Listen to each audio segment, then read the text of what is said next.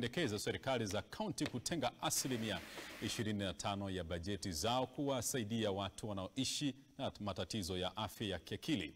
Wakizungumza wakati wa kuadhimisha siku ya bipolar duniani, wanachama wa muungano huo wamesema serikali haijatoa pesa, pesa ama ufadhili wa kutosha kuboresha afya ya kiakili wa Wakenya.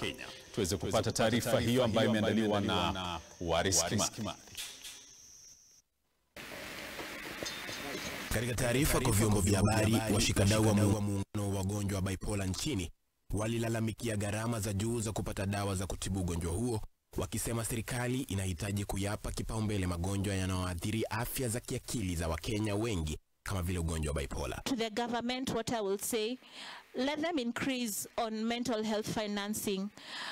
And for NHIF, for NHIF cover, I will say let them increase the cover for outpatient. Since the medicines for treating bipolar, they are very, very expensive. And many of the times, even in a mental health hospital like Mathari Mental Hospital where I go, you don't get the, the, the drugs in, the, in their stores, so you have to buy it. And it is very, very expensive buying from our pockets. As, as we speak today, uh, half a million people live with one million people live with one mental illness or another. Uh,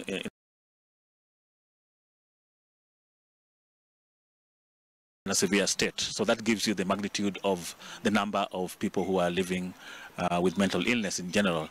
And that should be an epidemic, uh, should be declared an epidemic uh, by the government. So that gives you the degree of the investment that is needed. You saw when we had the COVID pandemic, uh, we've had the AIDS uh, epidemic and you've seen the investments that have gone into HIV and AIDS. So if, and the National uh, Health Action Plan calls for um, for, for the government to declare mental illness an epidemic.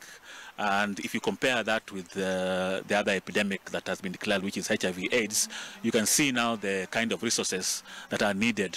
Zaidi wametaja unyanyapaa na kutengwa kama mojawapo ya matatizo wanaoyapitia wagonjwa wa bipolar nchini, kwani wengi wabagua kwa kuwalinganisha na vichaa, licha ya kuwa watu wengi wanaoishi na ugonjwa huo wana uwezo mkubwa wa kikazi. We need the political class to come out um, uh, and speak strongly against stigma. Recently, we had one of the Jubilee uh, leaders uh, attacking uh, his his opponent by claiming that that opponent had a mental illness. This is very wrong, and you saw that statement that came out from uh, Jeremiah Kioni, I think, the Secretary General of Jubilee.